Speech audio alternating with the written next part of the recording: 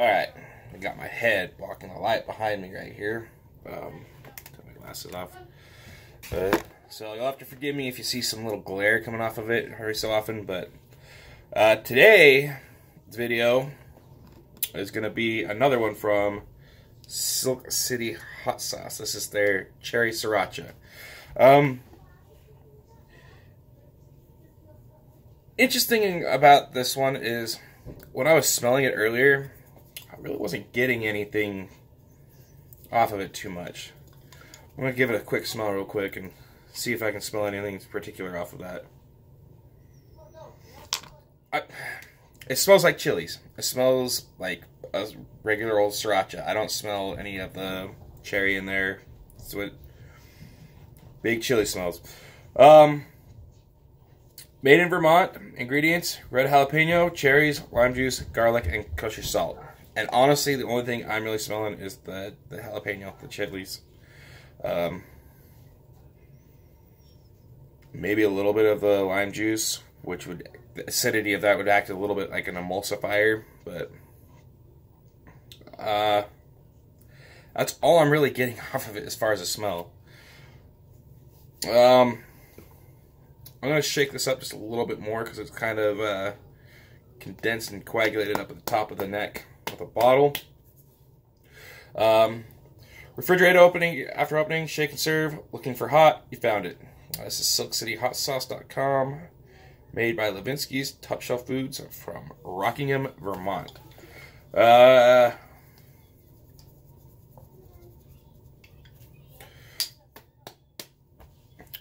it's a medium hot on their scale. It goes from mild, medium hot to WTF.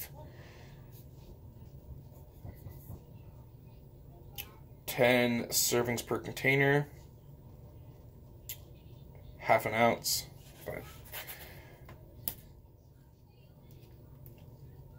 Alright, let's get us a spoonful of this. Now my usual spoon that I use has gone missing. I don't know who took it. I'm angry at them for taking it because that's my spoon. I use it for my reviews. And they took it. Came in here in the dead of the night and took it. I'm not that I'm not that butthurt over it to be honest. Um got a fairly thick consistency to it.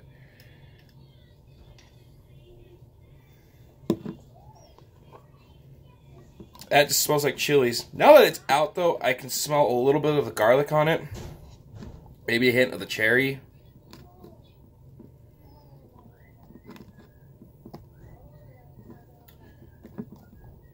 Alright, let's give this a taste.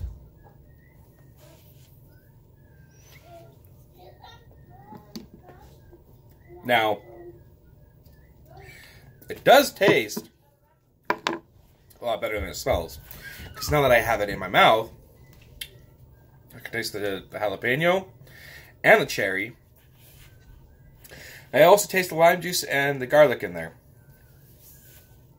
I taste all of it. It's a little bit of saltiness to it. It's pretty well balanced sauce. And for me to taste everything that's in there is it goes to show the care that goes into making a sauce like this. Um, also goes to show that you can't base everything exact entirely off of what you smell. Uh, the flavor on that is actually quite good.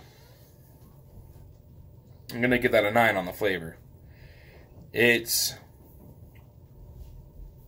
got that really crisp flavor that jalapenos are known for. A little bit of bitterness. It's got the tart and sweetness from the cherries, citrusy from the lime juice, and it's also got the garlicky flavor to it. And it actually it tastes really good. Um, I would use that probably like a traditional sriracha. Just put that on whatever you would use sriracha on. Uh, the cherry on there does add a little bit of sweetness to it, which is really nice. Kind of offsets the jalapeno a little bit because jalapenos are pretty bitter. But as far as the burn is concerned, that's a really, really mild burn. For me, that's a one. Uh, that's honestly something I think my wife would enjoy. Um, probably give that a two for non chili head. It's got some heat to it. It's actually quite pleasant. I enjoy that burn quite a bit. Uh, if you're looking for specifics as to what you could put that on, for me, if I base that entirely off the burn, I'd probably like on a grilled cheese sandwich.